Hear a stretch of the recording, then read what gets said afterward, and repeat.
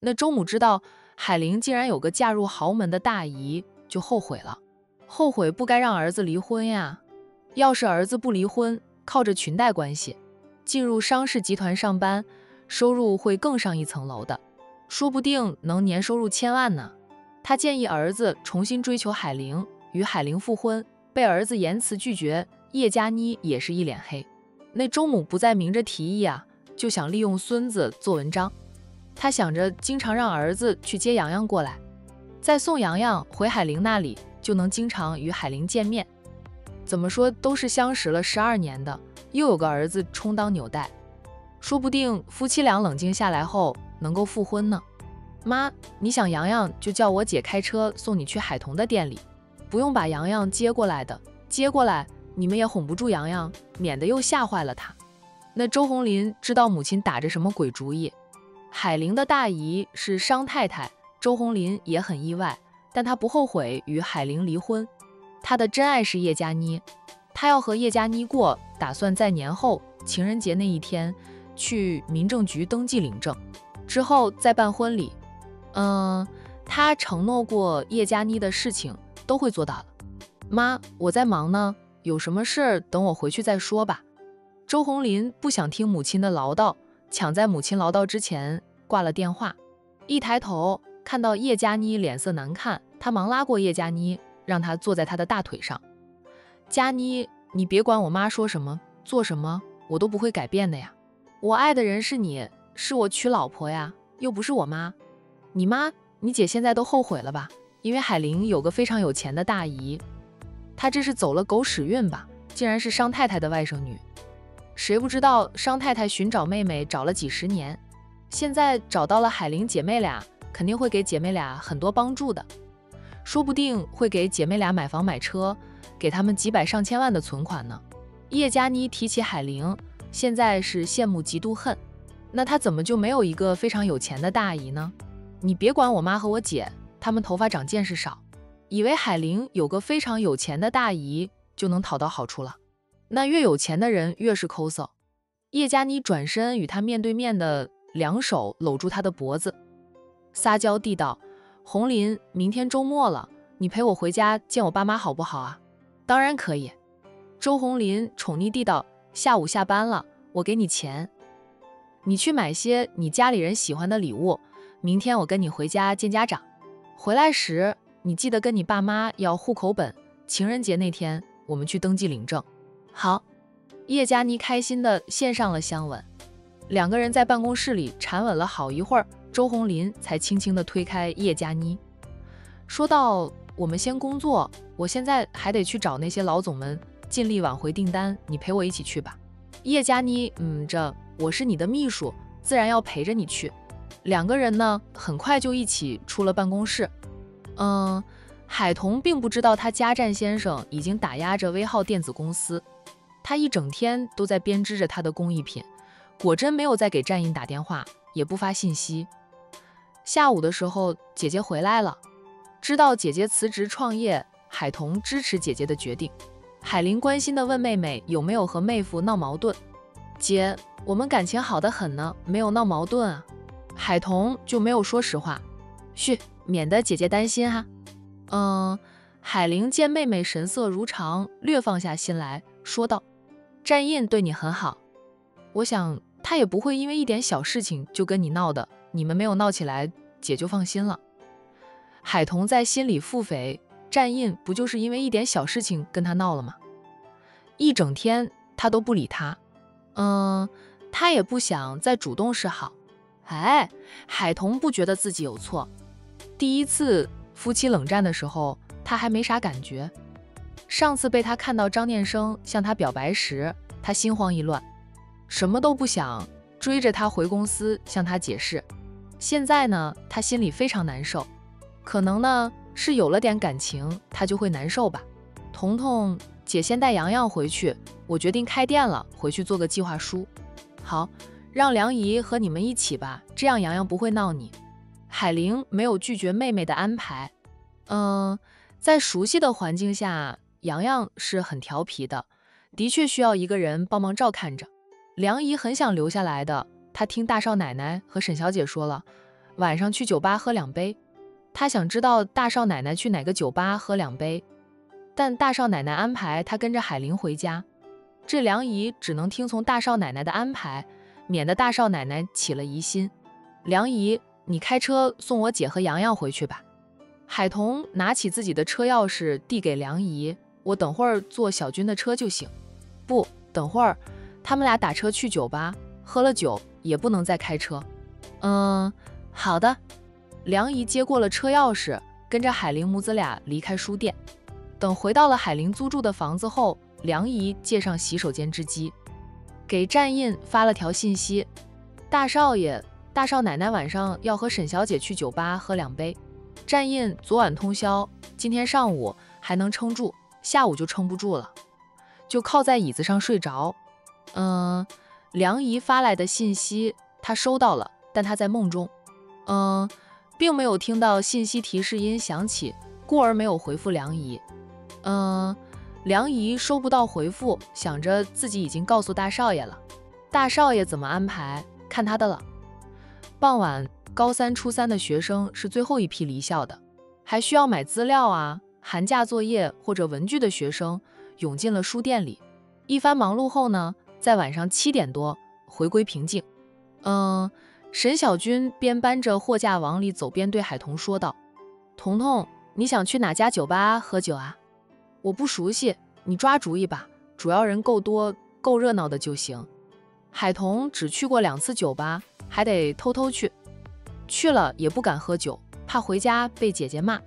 现在和姐姐分开住了，心情不好，他才敢选择去酒吧喝两杯，发泄发泄。那行。我请你去咱们管城最大最高级的池号酒吧。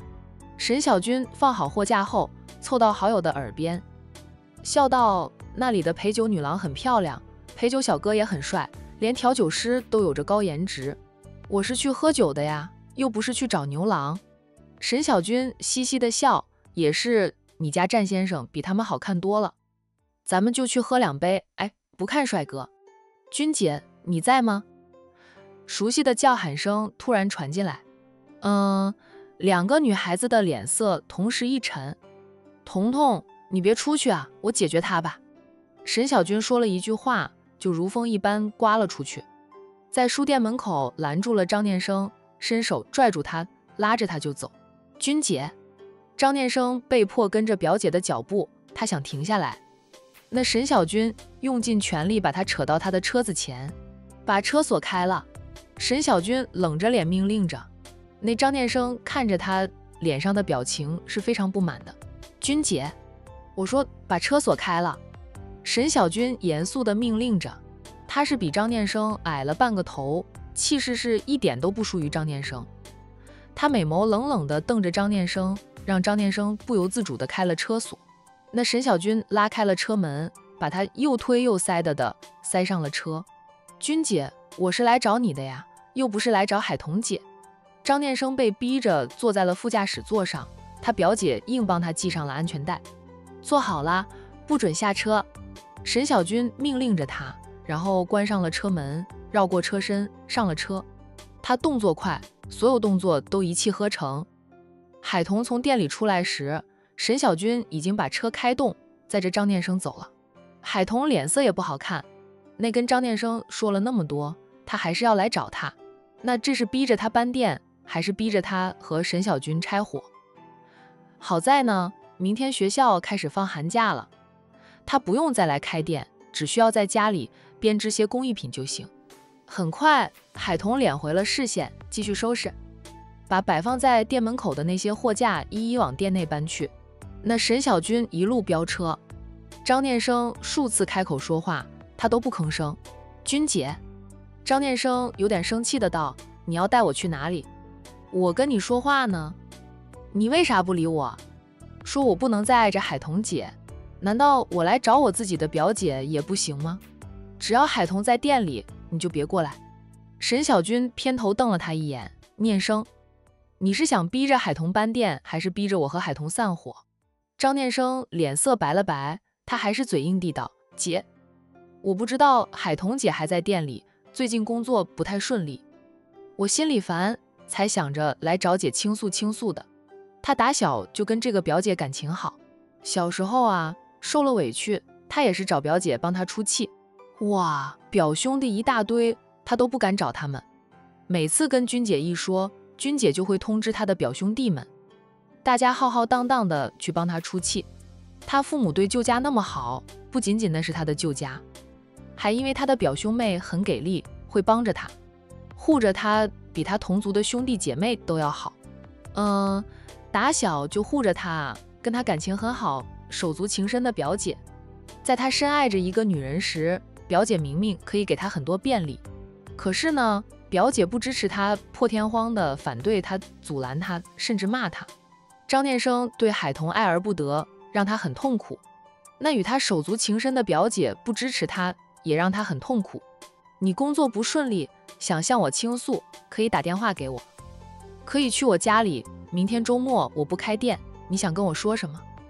嗯，我可以给你一整天的时间，让你倾诉。你当然工作不顺了，你看看你花心思在工作上了吗？你整天就想着怎么纠缠海童，跟你说了几百遍，海童是有夫之妇，他对你没有半点儿女私情，你这样纠缠他有什么意思？只会把你们以前的友情都消耗完。因为你，他们夫妻俩都闹了两次矛盾，你不会觉得过意不去，姐都觉得过意不去。张念生偏头看着窗外的街景。到处灯红酒绿，一片繁华。虽说挨年近晚了，很多外来人员都开始返回家乡准备过年，却也有很多人呢留在这座城市过年。君姐，我控制不住，我知道我这样做是不对的，会被人骂我是插足海童姐婚姻的小三，可我就是忍不住，就是想过来看看她，就只看看，不跟她说话，我都满足了。明明我跟他认识了十几年，我却成了他婚姻里的小三，应该站印是小三才对。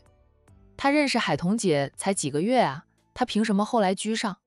沈小军要不是在开车，都想拉张念生到水龙头底下拧开水，按它到水龙头底下淋一淋，清醒清醒。爱情是不管认识时间的长短，只讲究缘分。你跟海童有缘无分，哪怕你们认识了一辈子。也没有用，没有战印，你和海童也不可能。你怎么就是不明白，非要在这个点上纠缠？海童不爱你了，这是关键。他要是爱你，十个战印也取代不了你。哦，他就是把你当成弟弟。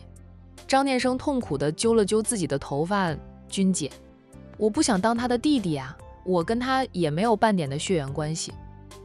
君姐，我就是想试一试啊。不试一试，我不甘心。怎么是？海童的态度还不够？咋地？你还想公开追求他？他是有这样的想法。姐跟你说了那么多，你都听不进去。你对海童的爱就是对他的伤害。不说你的存在会让他们夫妻俩闹矛盾，仅是你的父母都不会同意你追求海童。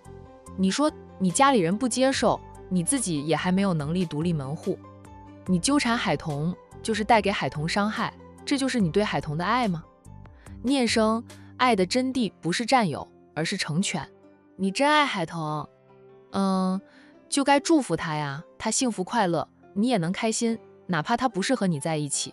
张念生不说话，察觉到沈小军是往他家而去，张念生忙问：“君姐，你要送我回家？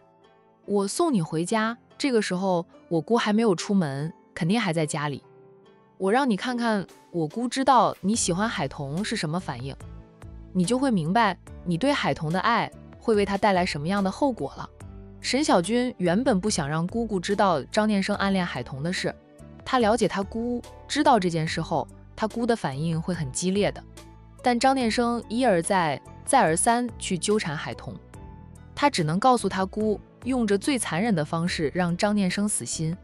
张念生想到母亲对海童的喜欢，说道：“我妈知道了肯定会高兴的，她很喜欢海童姐的。”那沈小军冷笑：“嗯，只能说张念生太年轻啊，太不了解他亲妈了。”那沈小军一路飞车，把张念生送回了张家别墅。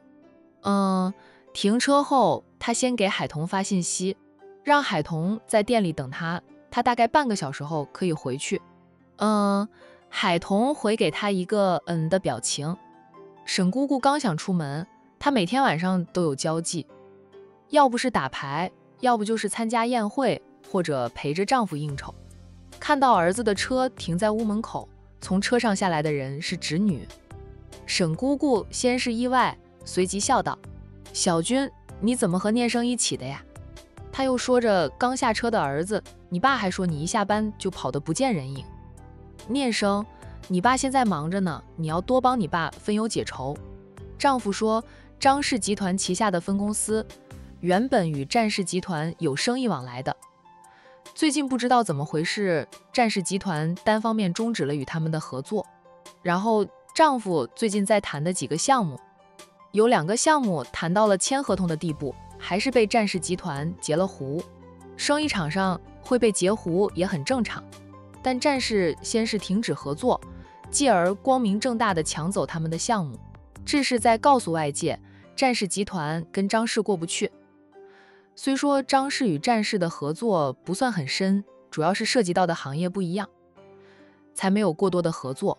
但是战士这样向外界传递了一个信号，让张氏集团备受关注。很多人都想知道，张氏集团是不是得罪了战氏集团。敢向战士挑战的大集团不多啊，也就一个商氏集团。人家商氏集团底蕴也厚呀，接班人也非常厉害，能跟战印一战高下的，他们张氏集团连商氏都比不上，居然向战士挑战，那不是自取灭亡吗？私底下好赌之人已经在打赌了，赌张氏集团在跟战氏集团作对的情况下，能撑上几年啊？沈姑姑知道丈夫回应过外界的猜测。说与战氏集团并没有任何的矛盾，但战氏那边没有回应。丈夫想见一见战总，得到的回复是年前没时间，年后等安排。战大少爷工作忙，一般人也见不到他。嗯，能够年后安排见面，沈姑姑认为两家关系还是能够挽回来的。毕竟上次在宴会上，战大少爷对他儿子态度挺好的，因为战大少爷和儿子说了几句话。让他儿子在接班人这个位置上都稳了稳，所以沈姑姑并不担心自家公司的短暂危机。妈，我下班后去找君姐了。张念生解释一句啊，沈姑姑就说她打小你就爱跟在你姐的后面当个跟屁虫，现在都二十好几了还是这样子。姑，你要出门？那沈小军步上台阶，走到姑姑的面前，打量了一下姑姑。夸赞着姑姑今晚的妆化的不错，年轻了二十岁。我和你走在一起，都像小姐妹。沈姑姑伸手点一下她的嘴，像抹了蜜似的，甜死人了。你呀，要是能早点找个好男人嫁了，姑姑逢着喜事精神爽，不用化妆都会更显年轻。沈小军笑笑，姑，你放心，我会嫁人的，你就等着给我包大红包吧。我侄儿侄女一堆。我最疼爱的就是你，你嫁人，姑姑肯定给你包大红包，给你添妆，让你风风光光的出嫁。姑，你先别出门啊，回屋里去吧。我跟你说件事。什么事？那沈姑姑边问着呢，边往回走。哎，我姑丈还没有回来，应酬呢，没到十二点都不会回来的。张念生的妹妹还在上大学，现在放寒假了，跟朋友们去旅游了。说是年前再回来，嗯，屋里没有其他人，那姑侄俩在沙发上坐下来，张念生则坐在姑侄俩的一旁，颇有点紧张地看着母亲。小军，你想对姑姑说什么事呀？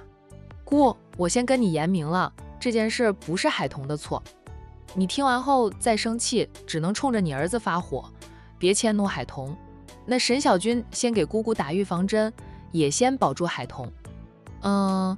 姑姑要是迁怒了海童，我以后都不来姑姑家了。沈姑姑笑道：“什么事呀？说的那么严重，姑姑怎么会迁怒海童？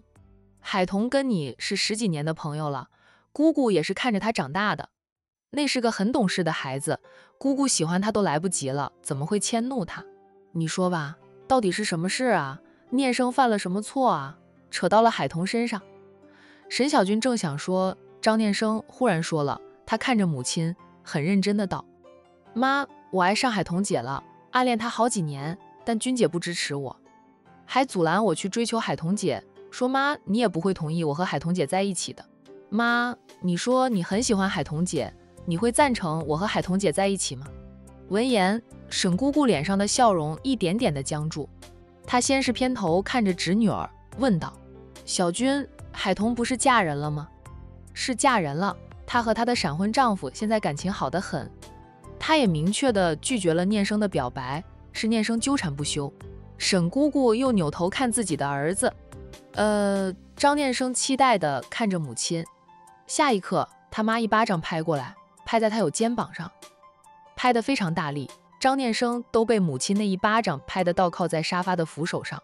张念生是这个世界上只有海童一个女人吗？你居然爱上她，在她嫁人了还对她纠缠不休啊？你疯了！他沈姑姑记起侄女还在场，不好说海童的不是。他对侄女说道：“小军，我知道了，你先回去吧，姑姑好好的跟念生谈谈。”小军，这是什么时候的事？是发生在海童闪婚前还是闪婚后？闪婚后。沈姑姑的脸色更冷了。姑姑，海童从来没有肖想过念生，他一直以来都是把念生当成弟弟看待的。我也极力劝阻过念生，他不听我的，你好好管管他。别让他三不五时的跑去纠缠海童，害得海童夫妻俩老是闹矛盾。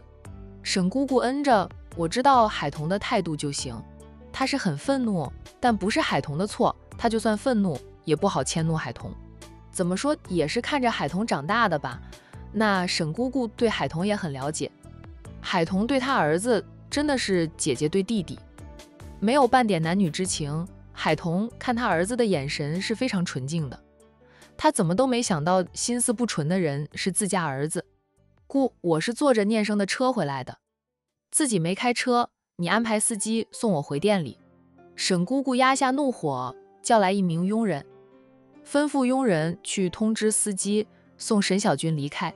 等沈小军走后，沈姑姑又是一巴掌拍向儿子，嘴里骂道：“张念生，你想气死你吗？我是吧？海彤比你大了三岁。”身世背景也不好，你眼瞎了，喜欢他？妈，你不是很喜欢海彤姐的吗？大三岁又怎样了？又不是大三十岁。海彤姐身世背景怎么不好了？她家里呢又不涉黑，祖上往上数都是很普通的农民，没有做过违法的事，清白的很。沈姑姑气得脸色铁青。妈喜欢她，那是看在你君姐的份上，把她当成另外一个侄女，也是不涉及到你的份上。妈才会喜欢她。妈要是知道你会有那样的想法，妈是绝对不会让你们接触的。张念生，你赶紧给我死了这条心！别说海童嫁人了，就算她没有嫁人，妈也不会同意你们俩来往的。海童老家那些亲戚，个个都是极品吸血鬼，谁跟他们扯上关系呢？那是倒八辈子的大倒霉。海童父母双亡，妈是承认他人品好，但他不适合你。他配不上你，你是我们张家的少爷，是张氏培养的接班人，以后你的太太必须是名门出身的千金小姐。海童能帮得到你什么？他什么都帮不到你。妈也不允许你娶一个没有背景的女人为妻。你娶了她，让她老家那些亲戚知道了，就算我们不搭理他们，不把他们当成亲家，人家也能打着和我们是亲家的旗号在外面讨好处，占便宜。影响我们张家的名声，张念生便说：“妈，我喜欢海童姐，不图他什么的，我也不需要他帮得到我什么。他和他老家的官妻关系恶劣，谁都知道的。那些人无法利用他们的亲戚关系败坏我们张家的名声。妈，我是真的很喜欢很喜欢海彤姐，你能不能？不能，你别跟我提任何要求，只要与海彤有关的，我都不会同意。更何况海彤嫁人了。”人家是有丈夫的，你现在纠缠他算什么？算小三啦！张念生，我警告你，你再敢去纠缠海童，别怪妈对海童做出什么事来。张念生变脸，妈，这不关海童的事，我不管她的存在，害得我儿子无心工作，成为一个男小三，妈就要找他算账。你再执迷不悟，妈就让他在管城都混不下去。张念生震惊地看着变得冷酷无情的母亲。嗯，不久前母亲亲口说的很喜欢海童姐，知道她喜欢海童了，母亲一瞬间就变脸。从现在开始，我会安排人二十四个小时跟着你，让我知道你还敢去你君姐的书店见海童，我就让人砸了书店，把海童逼离管城，还有他姐、他外甥、他闪婚丈夫，一个都不能留在管城。张念生，你要是真的心疼海童，喜欢他，哎。想让他过上好日子，你就老老实实的给我死了那条心，不要再去做出插足海童婚姻的事情，否则你妈我是说得出做得到的。张念生就脸白如纸，他愣愣的看着母亲，想起沈小军劝过他的话，君姐说别看他妈平时很喜欢海童的样子，一旦让他妈知道他喜欢海童，他妈妈就能马上翻脸。呃，还真是如此。他对海童姐的爱慕，就没有一个人支持他的。妈，张念生艰难地开口：“你别去针对海童姐，别做出伤害海童姐的事。我，我会尝试尝试放下对他的感情的。他是不在乎别人说他是个男小三，插足海童的婚姻。他总觉得自己先认识海童的，他顶多就是迟来的爱。但他不想看到海童被母亲伤害啊。有些事呢。”他不愿意面对，却心知肚明。海童没有靠山，而他母亲是张太太。他们张家相较于海童来说有钱有势的。他母亲若想对付海童，海童扛不住，唯有离开管城。不是尝试，是一定要死心，死心啊！沈姑姑命令着。沈姑姑说到做到，当即叫来了两名保镖，吩咐两名保镖：你们从现在开始。时刻跟随着少爷，他只要去了管城中学门口，就告诉我。这张念生面如死灰。那另一边呢？沈小军由张家的司机送他回到了店里。海童已经把店门口的货架全都搬进了店里，然后把他编织工艺品的材料、工具全都收拾好，还有冰箱里未吃完的菜以及零食等，也都用袋子装好。嗯，准备带回家里去吧。嗯，明天店就不开门了，等年后学生开学后才会重新开门营业。哎，彤彤都收拾好了，收拾好了，这些东西先放在你车上，还是我明天再过来搬啊？放我车上，等会儿我送你回家一并带回去。海童开始把东西往沈小军的车上搬去，边搬边笑道：“咱们是去喝酒的。哎，你等会儿还能再送我回家。”嗯，你敢酒驾，我都不敢坐你的车。找代驾啊！海童想到了阿七，说道：“阿七是个代驾，那个男人挺靠谱的。我家那个小气鬼都说阿七可靠。等会儿我们要回来的时候，我打电话给他，让他送咱俩回家。”那沈小军说道：“不用了，我早就找好了代驾。谁？我叫上我弟了，让我弟在池浩酒吧等着咱们俩。”他对酒精过敏，是不会喝酒的。又是我亲弟弟，就算我们俩喝得烂醉如泥，有他在，也不用担心我们俩被人捡尸。咱们女孩子去酒吧那种地方喝两杯不是不可以，但要学会保护自己，喝醉了很容易出事的。那沈小军其实也很少去酒吧那种地方，嗯，偶尔去喝两杯排解生活的郁闷，他都会叫上弟弟或者堂哥们陪同。那样他可以放心的喝，喝醉了也不用担心被人捡走欺辱。还是你想的周到啊！海童夸赞了好友一句。嗯，他没有亲兄弟，那些堂兄弟，哼，他要是敢叫上他们，说不定等他醉了，他们马上就把他卖掉呢。要是战印在，想他干嘛？那个小气鬼，他心情烦躁，就是他害的，被海童套上小气鬼称号的战印。在办公室里睡了好几个小时才醒过来，睁开眼后发现自己身上盖着一件厚外套。他先拿开外套，再看看时间，都晚上九点了。战印低叫一声，他竟然睡了那么久。办公桌上放着几个保温饭盒，是分公司的总经理给他打包回来的晚餐。可能看到他在睡，就没有叫醒他。盖在他身上的那件厚外套应该是总经理的。战印坐正身子，沉默了几分钟后，起身先进洗手间里用冷水洗了脸，让自己清醒清醒。数分钟后才从洗手间里出来，回到了办公桌前坐下，打开了几个保温饭盒的盖子，饭菜都还热着。他便坐在办公桌前开始吃饭，同时也拿出了手机，点开了微信，除了公司的高层给他发信息，请示工作，还有弟弟们也给发了几条信息。嗯，看完了微信上所有的信息，战印眼神沉沉的，哇。居然没有一条信息是海童发过来的。梁姨说她已经不生气了，此刻的她要么还在店里编织着她的工艺品，要么就在她姐姐家里和她姐姐一起谈笑风生，大概是连她战印是谁都不记得了吧。嗯，战印心塞塞的。退出微信后，看到也有一条新短信，他随意地点开，哇，没想到是梁姨发来的。那梁姨是下午就发给他了。他睡着呢，并没有听到手机响。大少爷、大少奶奶晚上要去酒吧喝酒啊？梁姨的信息就一行字，看得战印脸色沉沉，饭都不吃了，马上就打电话给梁姨。好一会儿，梁姨才接听的。大少爷，我借口下楼扔垃圾，才能接听你的电话。梁姨说道：“大少爷，你怎么现在才回复我？”大少奶奶此刻估计已经在酒吧里了。战印沉声问道：“他去哪家酒吧？”我昨晚通宵，下午实在是撑不住了，睡了一会儿，刚醒过来才看到信息。梁姨心想：怪不得他给大少爷发了信息，半天都没有反应，原来大少爷睡着了。海童去哪家酒吧喝酒啊？战印心里明白，海童会跑到酒吧喝酒是他害的，他心里有点悔。呃，干嘛那么小气啊？就因为他没有跟他说大姨姐被前婆婆闹事，他就跟他闹。嗯，现在想想，他还真的是太小气了。海童是个独立性很强的女孩子，不可能什么事都依赖着他。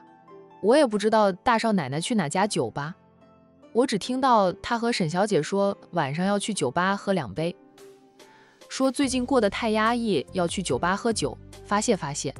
战印默了默后说道：“好，我知道了。”结束与梁姨的通话后，战印马上打电话给苏南。等苏南接电话了，他说道：“苏南，你马上帮我查一下，海童和沈小军去了哪家酒吧喝酒，去了多久？沈小军去喝酒了？哎，怎么不叫上我呀？”苏南，行行行，我马上让人帮你查一下。查到了，我亲自过去把他们俩送回家，行了吧？苏南又说。好端端的，他们俩跑去酒吧喝什么酒呀？想喝酒跟我说一声，我回去把我爸珍藏的美酒送去给他们喝个够，用得着跑到酒吧去。战印沉默一下后说道：“我跟海童吵架了。”苏南头痛的道：“你们俩怎么回事？明明感情升温了，秀恩爱能虐死狗，转眼间又吵架，怪不得嫂夫人会跑到酒吧去，是因为你。”战役说道：“你先帮我查一查，他们俩现在哪个酒吧？去了多久？有没有喝醉？查到了给我回复啊！行，我马上查。”苏南迅速挂断电话，让人去查探两个女孩子跑到哪里喝酒了。在等待答复的同时呢，战印又联系了自家私人飞机的机组人员，吩咐道：“你们马上做好回程准备，我十几分钟后就要回管城了。”出差时。他不让海童送他去机场，一是他要先回公司，二是他其实没有订好机票，因为他是坐着私人飞机出差的。接到战印通知的机组人员连忙就开始做准备。战印安排好一切后，开始打电话给海童。海童此刻和沈小军还有沈小弟在酒吧里喝得正嗨。沈小弟不能喝酒，他就陪坐在一旁，看着两个姐姐一杯接着一杯喝，特别是。海童姐简直就是喝酒如喝水，他忍不住劝道：“海童姐，你别喝那么多酒，看你的脸都红得像关公了，你的酒量不太行吧？再喝就要醉了。”海童笑道：“一醉解千愁，姐今晚就是想狠狠地醉一回啊，醉到连战印是谁都记不住的那种。”沈小弟看向自家亲姐，沈小军拍拍弟弟的肩膀，说道：“你海童姐心情不好。”你姐，我今晚都是舍命陪君子的，你只要看着就行，不用劝了，让他痛痛快快的喝一场，醉一回。明天醒来头痛眼痛难受，那都是他的事，谁叫他要借酒消愁？海童一手勾搭在好友的肩膀上，还是小军懂我。今朝有酒今朝醉，明日有愁明日忧，就最后会怎么样？他不去想。嗯，他就是烦闷，白天就装得好好的，此刻在酒吧里看着那么多人疯狂，他心底的闷就压抑不住了，试数解压出来。海童的手机响了，嗯，可能是我姐吧。海童忙示意沈小军姐弟俩别出声，他掏出手机一看，来电显示是战印，他皱眉把手机递到沈小军面前，打了个九格后。问着好友小军，你看那个小气鬼给我来电话了。我打给他的时候，他不接我的电话，发信息给他，他也不回我的信息。你说，哎，我要不要接他的电话呢？沈小军虽说也喝了两杯酒，头脑还非常清醒。他说道：“你自己决定，想接听就接听，不想接听就挂断了。我不替你做决定，万一让战印知道了。”怪到他头上来，他浑身是嘴都解释不清。不接，让他尝尝被人拒接电话的滋味吧。海童当即就摁断了战印打过来的电话。不过战印很快又打了过来，嗯，他在挂断，嗯，战印在打，他又挂断，反复几次后，战印的俊脸黑得像炭。